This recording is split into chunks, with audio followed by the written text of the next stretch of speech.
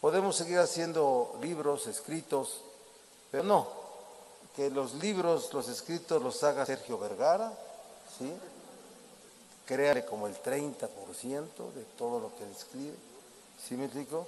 Y, este, y nosotros, nosotros seguimos cultivando esta tradición. De verdad que a todos, gracias por venir.